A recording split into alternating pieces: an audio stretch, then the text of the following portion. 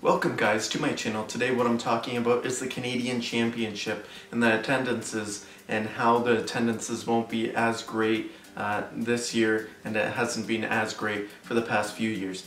First of all, please like and subscribe to this channel uh, if you want to hear more Canadian soccer content from me. If you enjoy this video, of course, you can do that at the end of the video.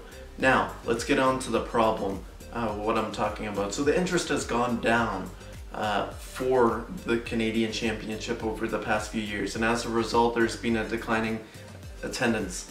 Particularly, uh, Toronto FC has had a lowered interest from their fans. Uh, I'm a Toronto FC fan myself, and there's been a lowered interest for the Canadian Championship from their fans. Uh, as a result, we saw in leg two of the final of the Canadian Championship last year where Toronto FC played Vancouver Whitecaps. There was only about an attendance of 14,000 when usually the average Canadian Championship game for Toronto FC gets around like 22, 23,000.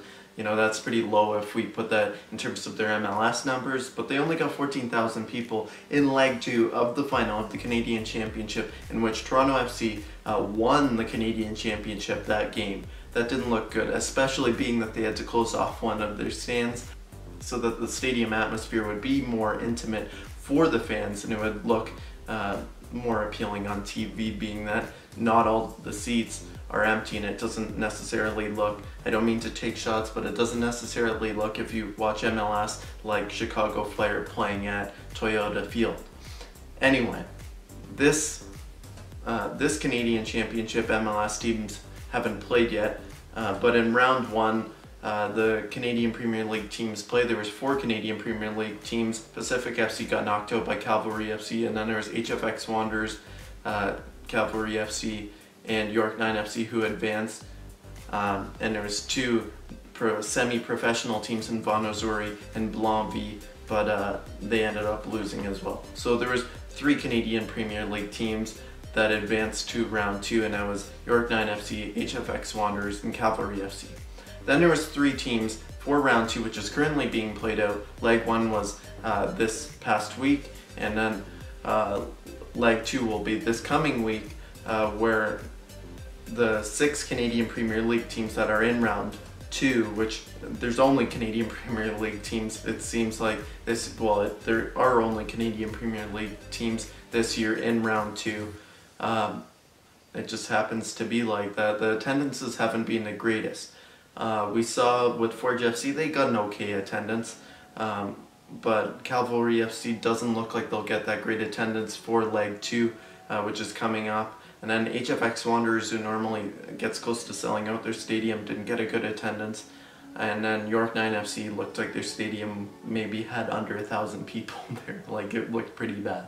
So I'll get on to the first aspect to this problem why there's such low attendance.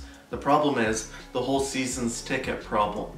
So basically all the teams that had to start in round one for Canadian Premier League teams, I believe uh, the teams included in the season ticket packages uh, for fans who bought season tickets uh, the first round Canadian Premier League game at their stadium.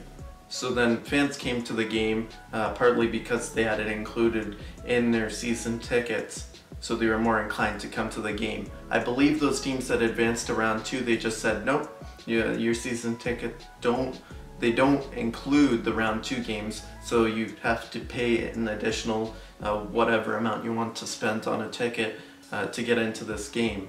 So as a result, fans of York 9 FC, HFX Wanderers, and Cavalry FC uh, aren't as inclined to go and buy tickets, while fans of Forge FC, Valour FC, and FC Edmonton, the three teams that had byes to round two, um, they were more inclined to come to the game as they included the round two, their teams included the round two uh, tickets for the game um, in their season ticket packages as it was their first game in the Canadian Championship.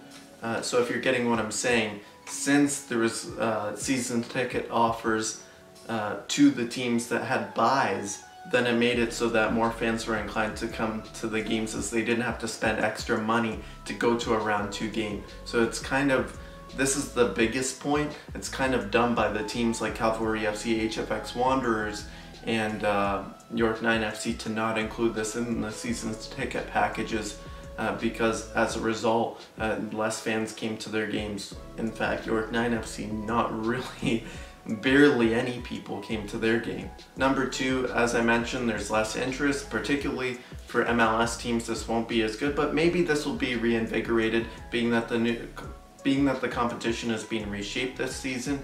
Uh, but that's certainly not good uh, for teams like Toronto FC, who are getting their fans have been getting more interested in the Concacaf Champions League and MLS because they've seen that being that we've won the Canadian Championship so many times, like we're able to win that. We've seen it multiple times. Uh, but being that we won MLS Cup, they see that MLS is really the competition that we want to be winning and that we can attain. In previous years, fans would come to the Canadian Championship games because they saw MLS as more unattainable. So they're figuring, well, I'll go to this game because this is the only competition that Toronto FC can win. Uh, when 14,000 people come to the game in 2018 to the Canadian Championship, they're kind of like, okay, well, our team sucks. Uh, they're not playing well, and really our goal is to watch this team win another MLS Cup or win the CONCACAF Champions League, uh, hopefully in 2019, which of course didn't happen and we went out uh, pretty badly.